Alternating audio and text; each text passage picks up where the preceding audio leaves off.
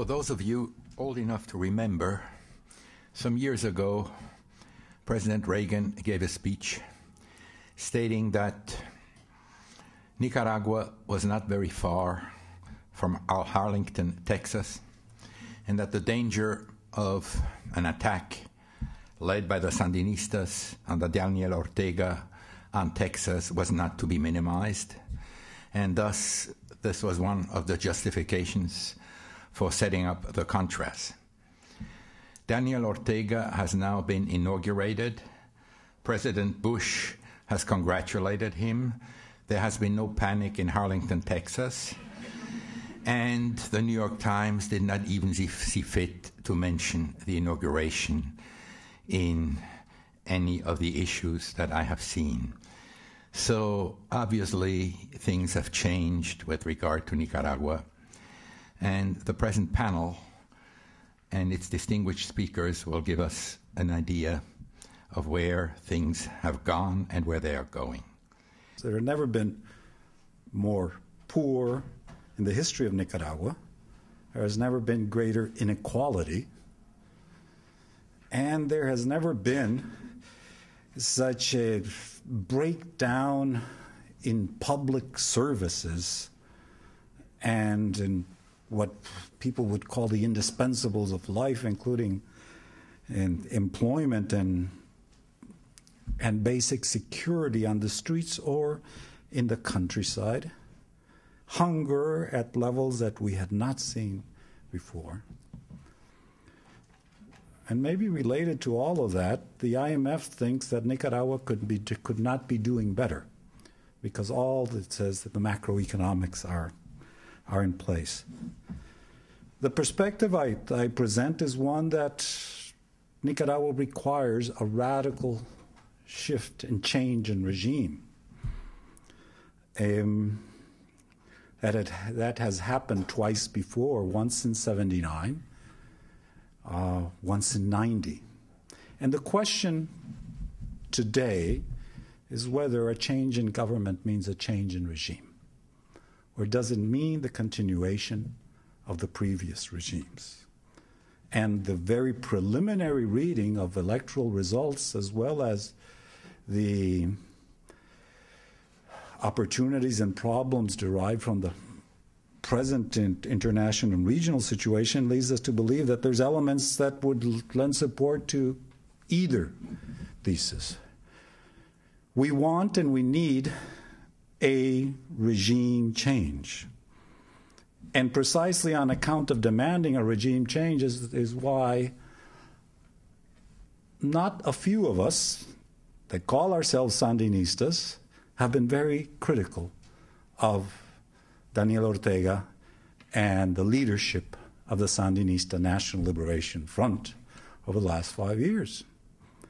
Because precisely the way in which they have gone about trying to get themselves back into office, who knows of its power, office, apparently successful, has been at the, may just be at the price of having to sacrifice the expectations of Nicaraguans, including the overwhelming majority of those that voted for him, demanding and expecting a regime change, something that was not promised by the, the candidate, and that was not implicit, certainly quite the opposite in the campaign dynamic, where the efforts, uh, the, the very vague messages were on reconciliation, we're on peace, we're on harmony, were on love. Um, we can do it if we all just come together. Let me just break this down because um, my colleagues will can go into greater detail and later we can we'll discuss more. The the result of the election and what are some of the factors that we have to keep in mind in order to make an honest, important ongoing evaluation of what some people believe is is yet another left government. And what we are emphasizing in, in Nicaragua is that don't call this government left because when it fails, you'll be able to say the, the left failed. So maybe we should get this terminology um, straight uh, right away. Let's, the most difficult thing, I would try to be subjective, but let's try to be objective and be able to say, notwithstanding tremendous misgivings, we have to recognize three things. One is that this was a legal process that gives that brings forth a legal winner. I say legal, I will not say legitimate because as Rose and Michel can explain, the process itself was was so distorted. But legality is there. Um, second, we have to recognize that legality, that reality, that we have new authorities that are the product of an electoral process, however imperfect.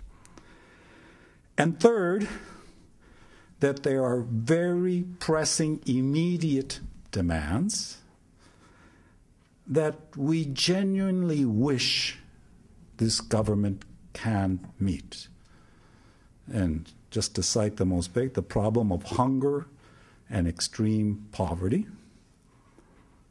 the problem of health and housing. You know, we're, we're talking about people in life and death situations who can't afford to wait till the end of the debate or, or a policy implementation that need immediate redress now.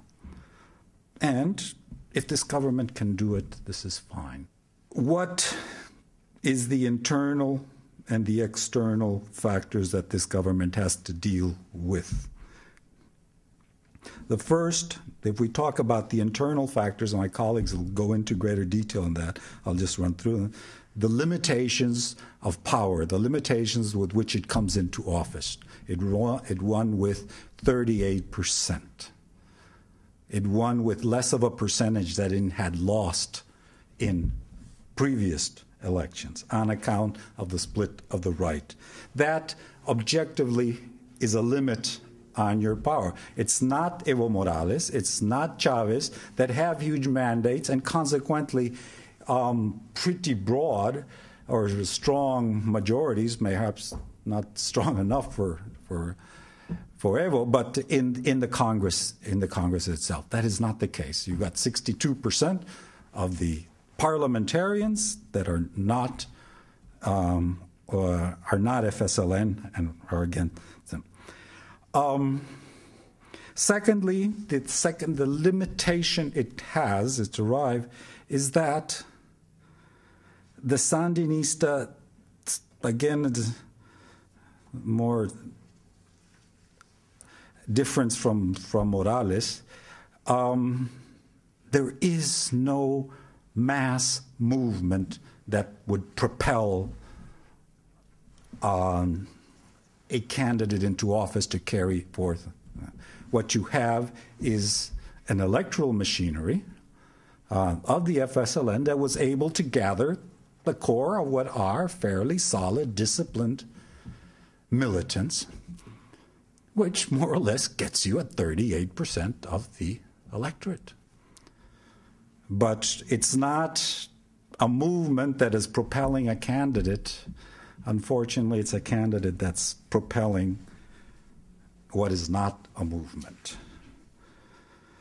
Um, and if this next element would be as much as we try to judge objectively the new government, we necessarily, historically, analytically have to take into account what has been the trajectory of the candidate and of the leadership of the FSLN, unless they're going to change that overnight, which would be difficult for them to do, although some believe they will do.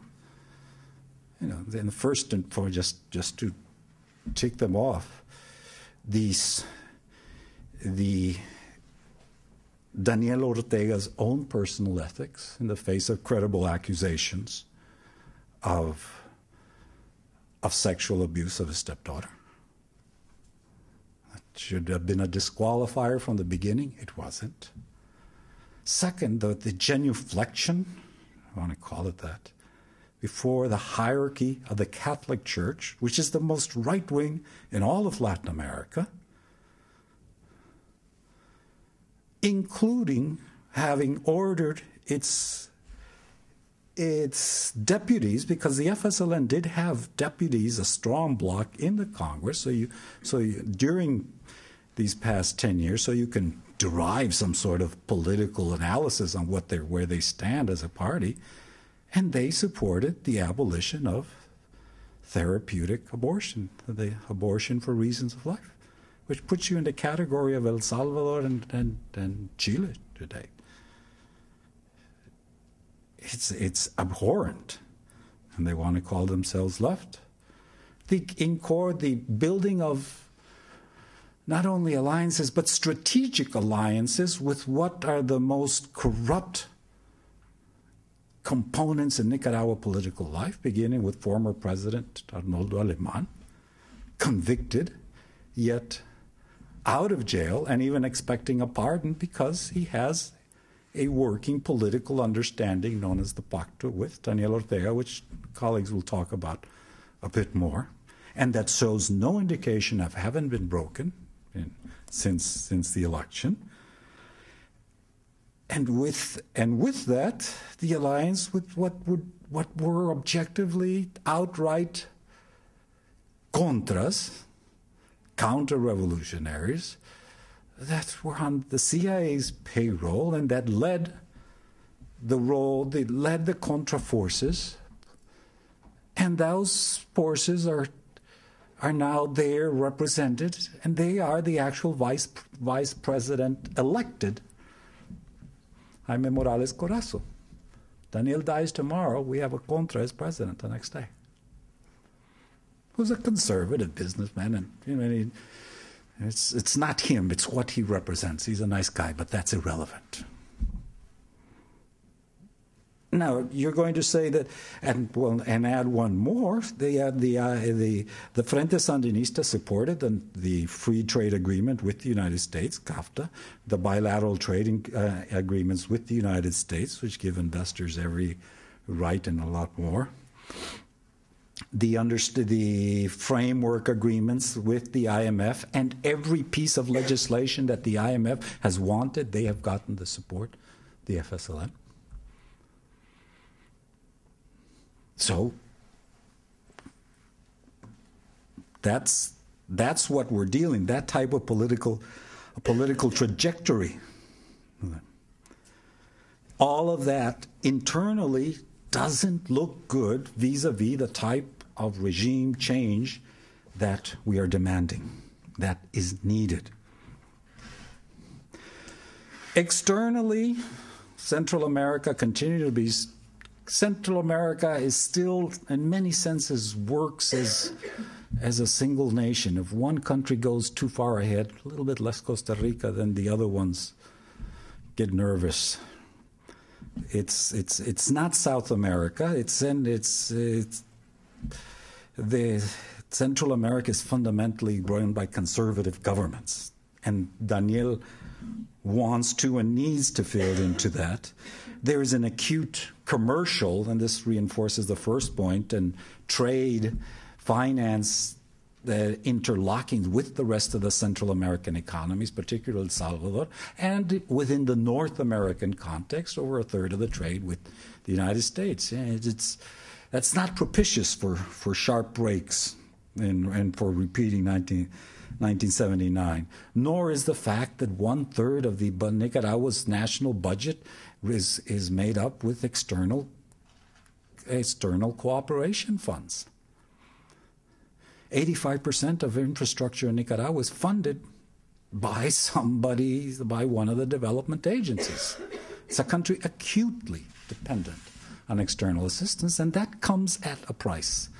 Let no one believe there's, there's non-conditional. So that doesn't look good either. But, and here we get to the big but, um, what why is this still a moment of opportunity? And it's and it's derived at precisely in the context of what's happening outside the region. Um, the weakness of the USA that's too distracted in Iraq to, to even think coherently about Central America, apparently. The IMF is going through a crisis of legitimacy. It doesn't have that much power. And then comes the last factor, which is only materialized, we've seen the dimension of over the last week, and that is the Chavez factor.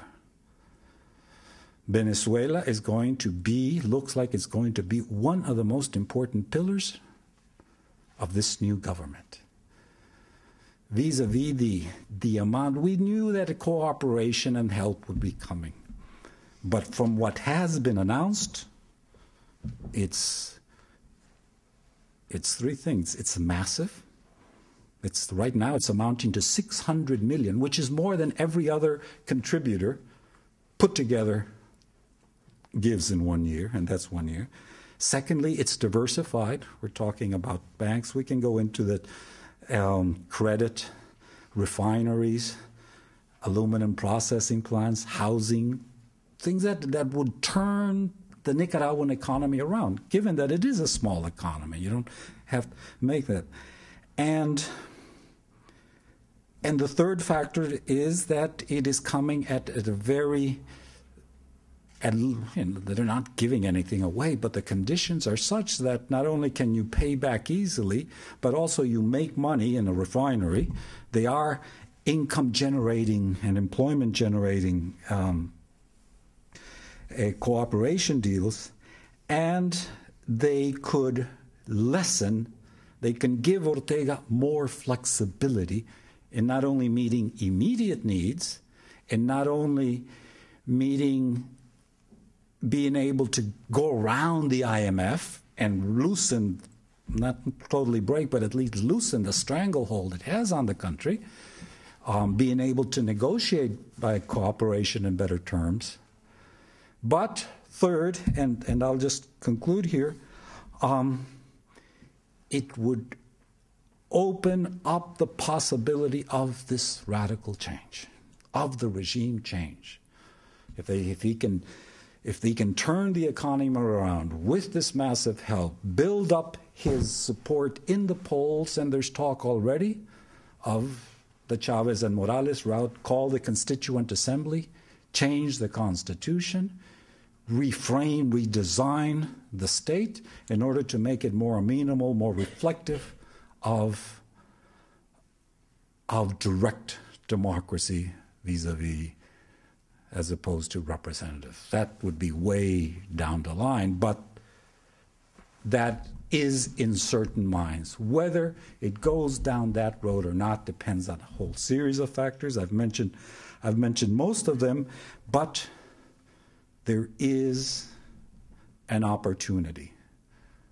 And we just pray that the FSLN doesn't blow it and can indeed mark a historical change in its political behavior and indeed will be able to push the envelope on the more on the strategic proposition that is embracing a lot of Latin America of how far we can re-rein in the market and begin the build the, the new building up of the public sector, the renationalizing of resources, the reassumption of economic sovereignty, the construction of multilateral regional trade agreements, that will indeed create the counterweight that the United States needs in that region.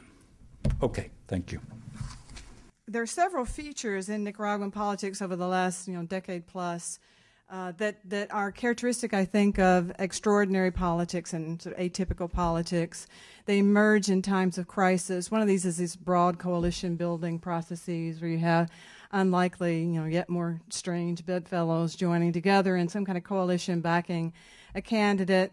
Uh, this is really very clear in 1990 with the UNO coalition composed of 14 political parties and movements that were across the board in terms of ideology, and yet they all came together around the idea of trying to oust Daniel Ortega. So it's kind of crisis politics. You see it elsewhere, I think, at different times in Latin America. The whole concertacion process in, in Chile, I think, is a reflection of that too. The, the forging of a coalition of the center to the left in order to defeat uh, to bring about um, transformation after the military period.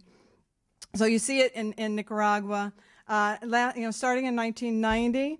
Uh, then again in 1996, you can see the result here with Alemán and his Liberal Alliance, uh, bringing together lots of different uh, f- factions and fractions of, of the Liberals and some others to generate a coalition getting 51%. Then Bolaños, you know, with the PLC, but others backing, including conservatives, getting the 56%.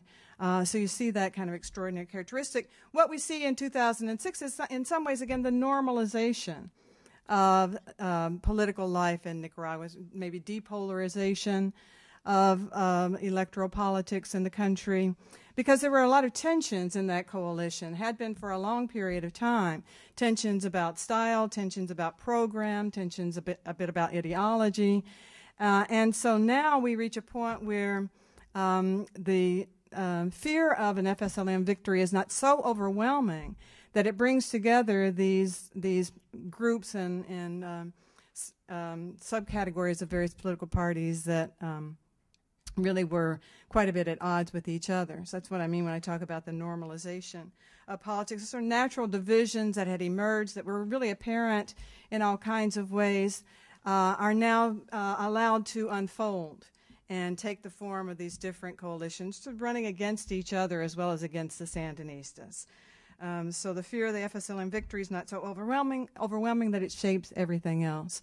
Another thing that seems to be normalizing, again, not necessarily a positive development, but um, um, nonetheless there, is a decline in voter turnout. I've included some information about that as well so that you can see um, what the voter turnout of registered voters was. In 1990, it was 86 percent. It was a very high rate. It Places Nicaragua one of the, you know, sort of tor- toward the top and the t- upper tier of uh, turnout rates for Latin American countries uh, during that time. Uh, it's it's dropping a little bit by 96. Um, and again in 2001, now down to 70%. So you're seeing a, a gradual uh, drop off in the turnout rate. I think the IDB did a study of um, um, political and, and, electoral characteristics of Latin American countries from the 80s up to 2000, and they found that the average turnout for presidential elections was 73% at that time. So now Nicaragua is dropping a little bit below what was the average. Again, kind of a normalization. Um, Nicaraguans still participate, obviously, but much better than people do in the United States, but nothing like at the level that they did uh, in that election in 1990. And there are other things too. You can you can you can see that seem to represent a kind of normalization. Uh, the I think a decreasing um, well, a decreasing number of international observers, a rising number of domestic observers can also be taken as a sign that that the political life, the electoral life is normalizing. There's less of a need for the international validation of the results and a growing internal domestic capacity to be able to monitor and and establish legitimacy and do research as necessary about key problem areas. So that's that's part of what's going on in in the configuration that we're finding. Second thing is a change in the institutional rules. As Alejandro mentioned, the 80, the, uh, the 38 percent that the Sandinistas got, or Daniel Ortega got, presidential candidate in 2006, is actually below what they had received um, in previous elections that they lost. So you can see, you know, they lost in 90 with 41%. They lost in 2001 with 42%. Um, um, and this is a, an artifact of the changing in institutional rules negotiated between Alemán and Ortega and then uh, um, producing a constitutional change in 2000. Prior to that change, um, uh, in, in, order to avoid a second round, you had to have 45% of the vote and so that what they negotiated was a reduction to 40%, and then under the in the condition uh, and the circumstances where there was a five percent point lead, it could drop as low as 35%. So that's how you get to this situation where you could win with only 38% and and not have to go into a second round. So there was a change in institutional rules that obviously made a tremendous impact, he would not have won had those uh, rules not been changed. I think there there could be a lot of questions. You know, there wasn't a question about legality because you know it was according to the rules, but there is a question about legitimacy. Probably would be much more in the way of a question about legitimacy, at least in international circles, were it not. I think for the Mexican election, one with only 36% of the vote and a 1% gap, right? Uh, and it, again, I'm thinking about this in terms of how the U.S. government responds, since we were delighted, I think, with the result of the Mexican election, even though it was a squeaker, it became very hard for us to criticize a 38% um, a, a victory when there was a 10% gap with the next ranked candidate. So um, that's a second sort of set of themes we could think about. Campaign effects. There's a lot to discuss here. This whole emphasis on love and reconciliation, you know, give peace a chance, the new uh, theme song of the campaign, the colors that were used, very little of red and black, a whole lot of gold and, and a kind of a bright pink. Um, so that got a lot of attention, a lot of discussion. Clearly, there's a different kind of projection of image that the Ortega campaign was cultivating the alliances we've heard a little bit about, and we're going to hear more about in just a minute. So I won't say more about that now. Um, the, uh, there have been a number of studies about a couple of other campaign issues. One is media coverage of the different campaigns, and it was kind of surprising to me. There was a study done by the uh, European Union on media coverage in the last month of the campaign, looking at uh, candidates and, and parties' coalitions. And uh, I was surprised to see that in each of the three media types uh, radio, TV, and in the print media the Sandinistas actually got more coverage than uh, any of the other candidates. And uh, although not all of it was favorable, in the on, in the radio coverage, um, it, it, was over the Sandinista. The gap was um, 60, 67% of the coverage was of the Sandinistas. 15% was of the Montealegre camp, and then only 8% of the Rizo camp. Um, so a, a, tremendous gap there. And 73% of that coverage uh, was of the Sandinistas was positive. So it's kind of interesting to see the way in which the media could have played a role in um, encouraging people to think in a different way, perhaps, than they might have in the past about the Sandinistas. Uh, and then there's campaign funding. Uh, the um, uh, the uh, domestic monitoring, one of the domestic monitoring, electoral monitoring or organizations, Ética y, y Transparencia, did a report on the spending from July to October and found that um, the Sandinistas spent more than anybody else, $6.3 million on their campaign versus uh, the PLC with 5.6 million, the the Montealegre uh, Alliance with 4.6 million, and the MRS with 1.3. So it's also interesting to see the way in which the Sandinistas were able to gather the resources, the financial resources, with which to run this uh, pretty elaborate campaign. There was a dramatic increase in the amount of spending on this campaign overall compared to 2001. There was about a 40% increase over what it had been um, five years before, adding all the camps together.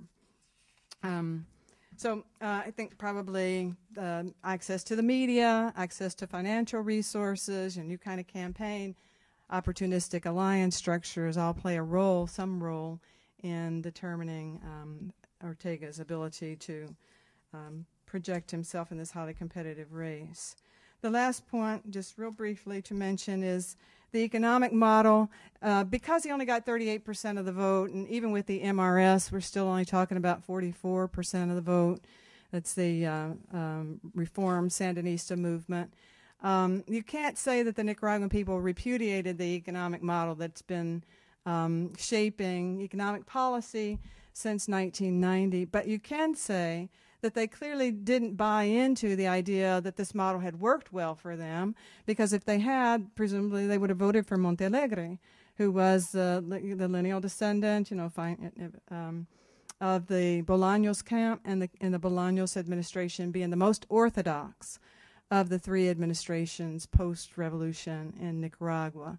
So, if they had been persuaded that the Bolaños administration was on the right road and that Montealegre represented something similar, would carry out similar kinds of policies, then presumably his vote would have been much stronger than it was. And he clearly did not do all that well with only 28% of the vote. Um, so it does seem to be, at least, you know, one reasonable interpretation is that it does reflect an interest in change. How much change, in what direction? You know, there's still a lot of questions to be worked out. But um, it, it's uh, there would be no doubt that voting for the Sandinistas would be, in spite of the you know the moderation, the new tone, and all, all those things, would be an, ex- an expression of a desire for change, to move away from what had happened in the post-revolutionary period. Um, and, and that seems to be in the offing. Uh, the last thing I wanted to say, just very quickly, is on the back side. It's about the uh, Asamblea, because um, it also shows, you know, one of, one of the areas of challenge that or, the Ortega administration will have. This is a um, um, table that gives us information about the diputados, the deputies in the national legislature, and the parties that they come from, uh, how it broke down in, in 2001, um, and uh, then how it's breaking down now in 2006. So you could see the PLC obviously did very well and won a clear majority, but then it begins to fragment between the Aleman camp and the Bolaños camp, and so um, you have um, um, major problems for the Bolaños administration and this new coalition that's formed between the the uh, Aleman and Daniel Ortega to to make most of the decisions that are taking place within the assembly.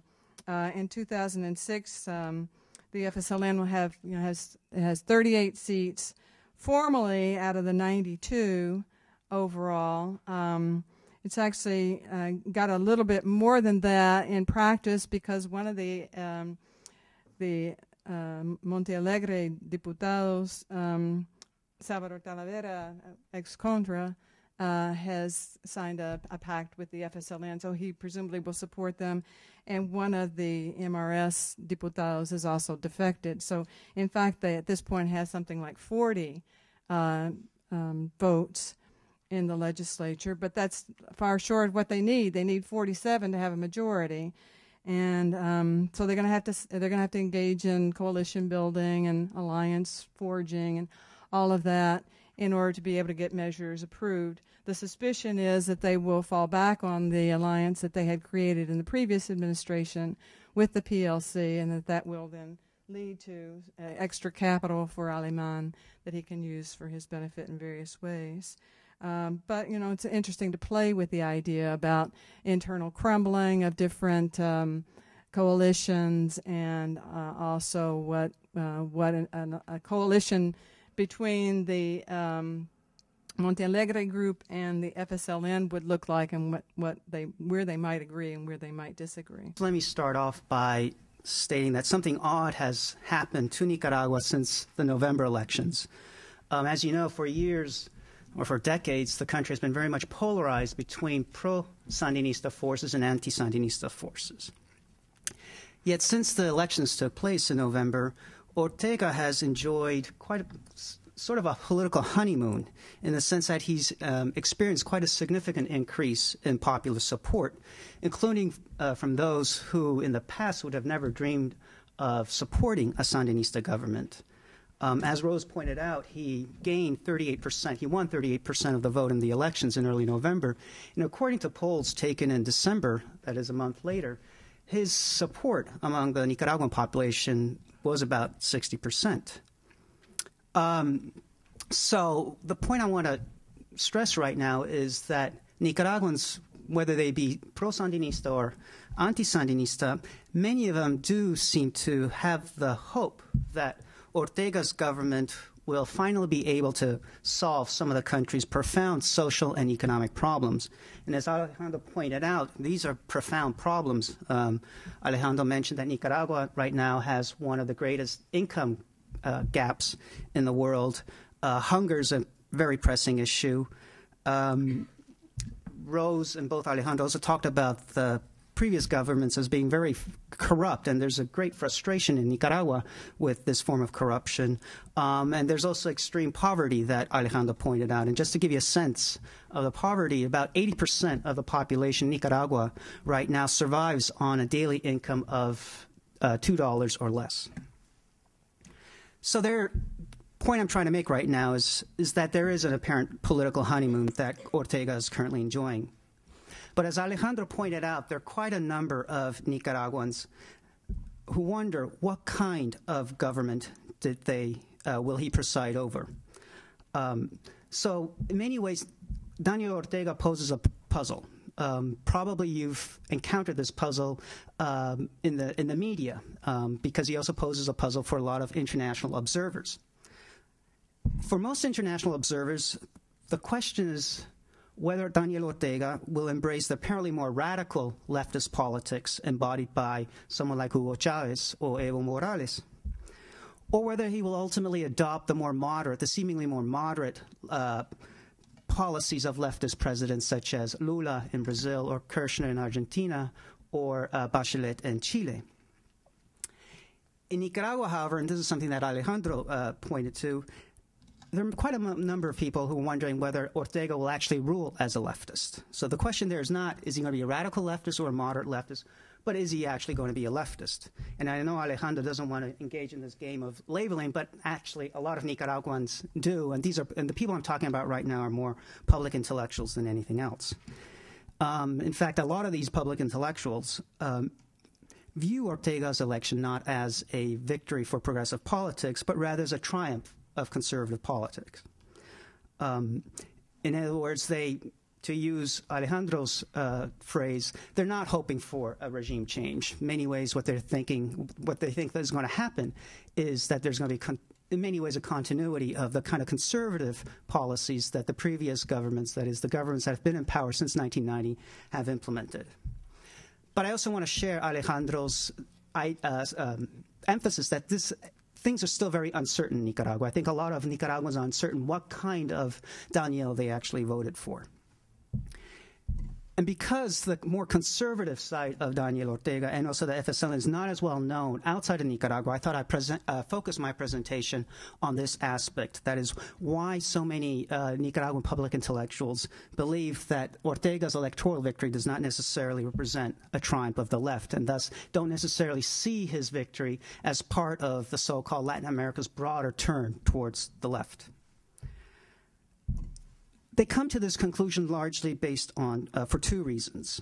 Um, and the first is something that uh, both Alejandro and Rose have, have emphasized is that the kind of they point to the kind of political alliances that both Daniel Ortega and the party that is the FSLN um, has has forged in the last uh, 10, 10 years or so, uh, since about the early 1990s, mid 1990s. Um, and Alejandro mentioned uh, some of these alliances. Uh, the first one, and let me just single out four uh, alliances that uh, the FSLN has forged with conservative sectors of Nicaraguan society and politics. The first one is the most known one. That is the alliance that the FSLN has forged with um, Arnoldo Aleman and his party, the, the PLC. Um, as Alejandro pointed out, uh, Aleman was president of Nicaragua from 1996 to 2001. He is probably, at least since 1990, he's probably the most powerful anti-Sandinista politician in Nicaragua. Uh, it also happens to, he also happens to be the most corrupt one. Um, he's currently serving a 20-year jail sentence uh, for having embezzled over $100 million during his presidency.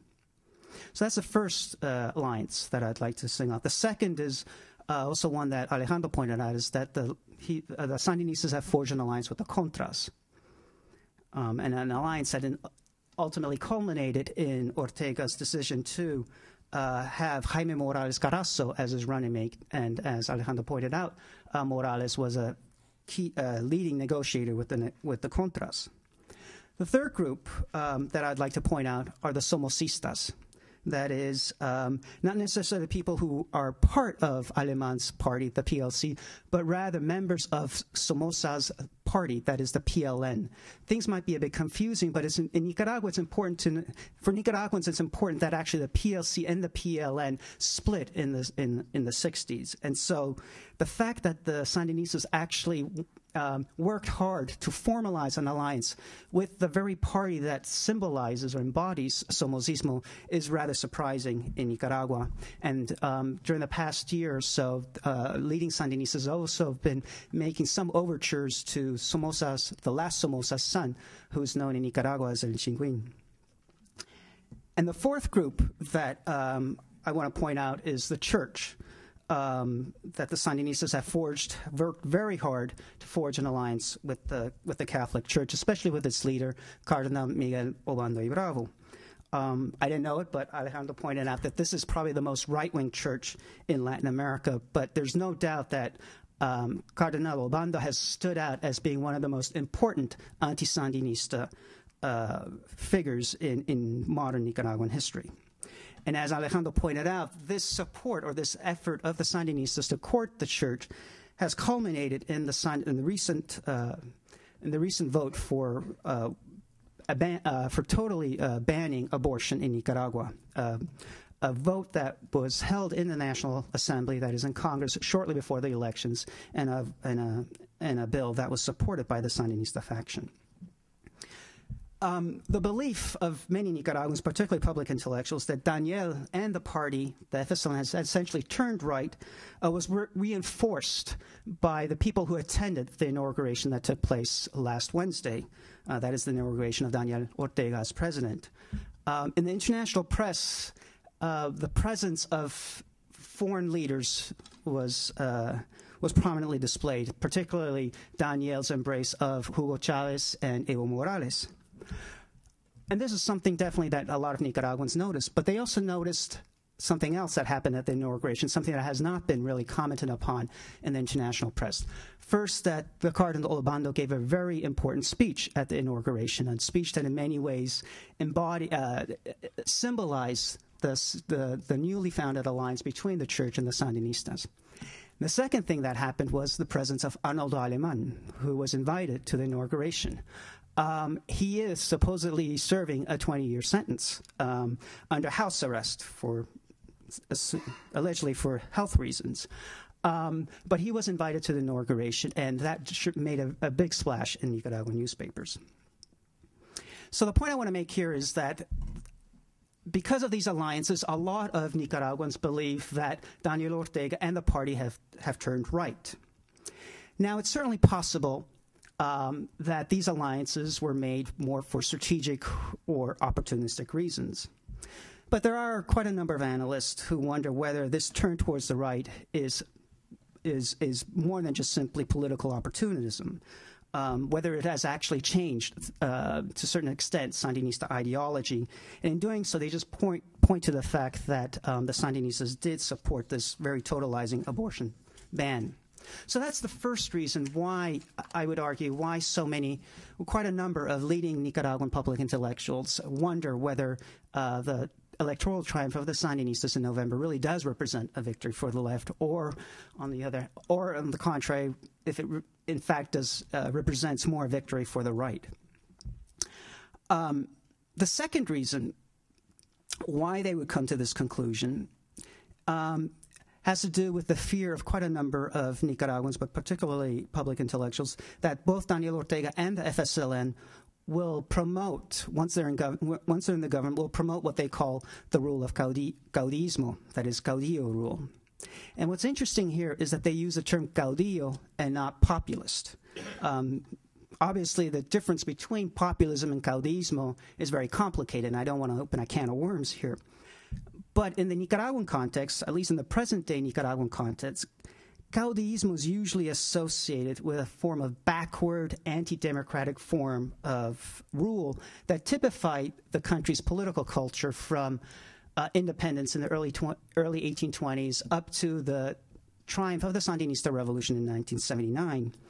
Um, when you talk about caudillos in modern Nicaraguan history, uh, the caudillos that usually spring up, uh, pop up are someone like Anastasio Somoza Garcia, that is the first Somoza, the founder of the Somoza dictatorship. Um, and then the conservative caudillo like Emiliano Chamorro, who for a while was uh, Somoza's leading opponent, and of course more recently Arnoldo Aleman. Now, I think the fact that quite a number of Nicaraguan public intellectuals currently identify Ortega and the Sandinista party with caudillismo is especially striking, since the Sandinistas did lead a revolution that appeared to be bent on eradicating caudillismo from the body politic. So, what do they mean now when they claim that Ortega and the Sandinistas will rule as a caudillo?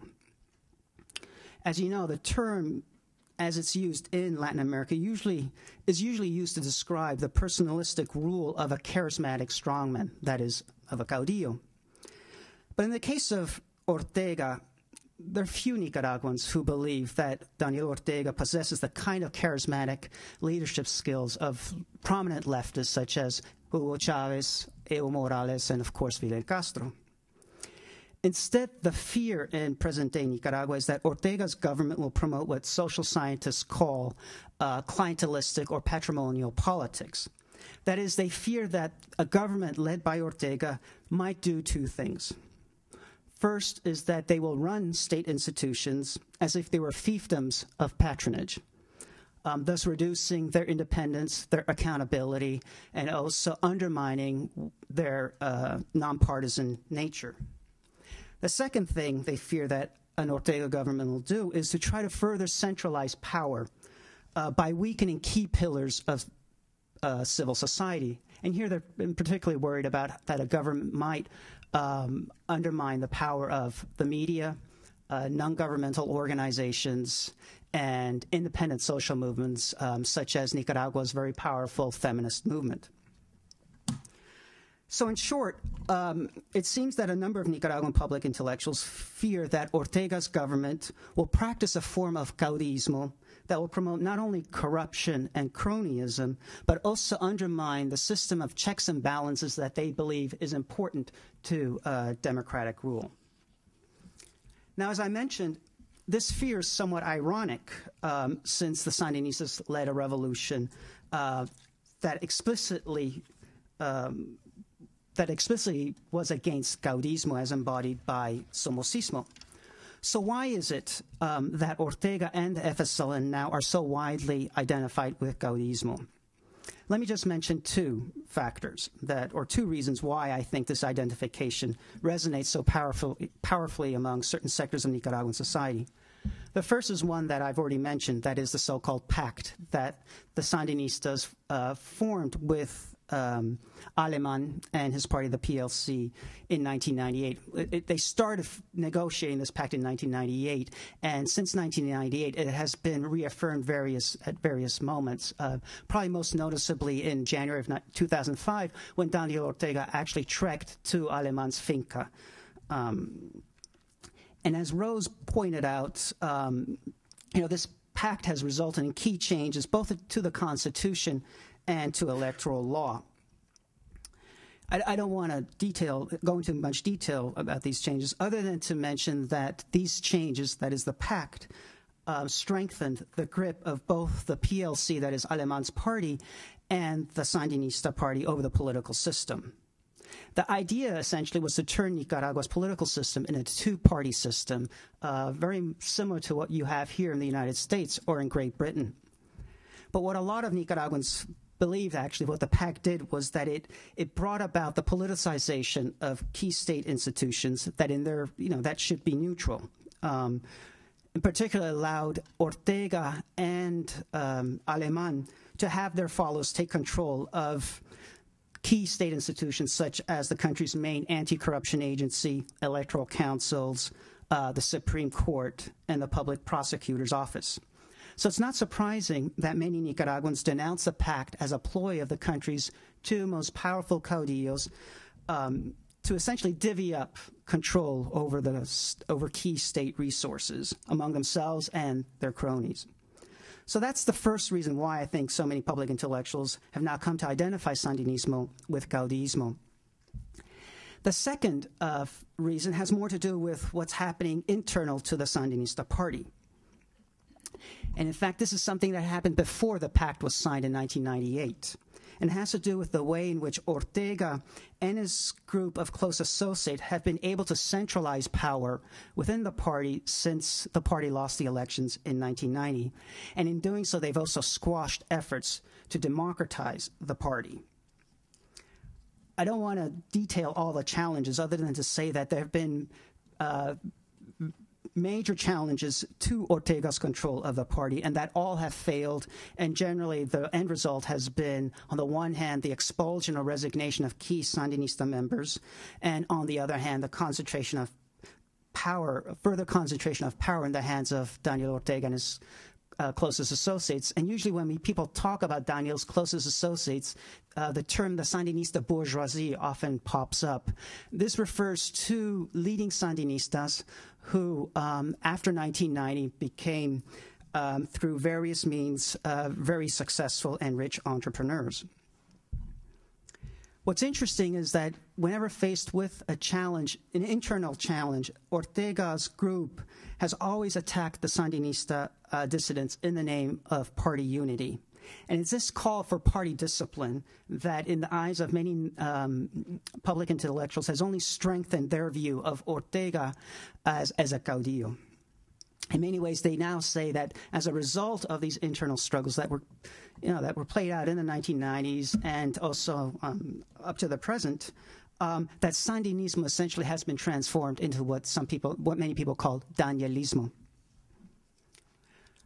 So, in the eyes of many Nicaraguan public intellectuals, the transformation of the, um, or the identification of the Sandinista party with caudillismo is essentially a post revolutionary phenomenon. That is something that has happened after the revolution ended in 1990.